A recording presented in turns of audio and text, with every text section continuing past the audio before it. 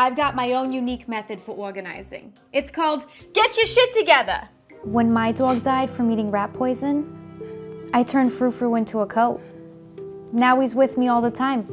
I'm wearing him right now. Books. Who reads anymore?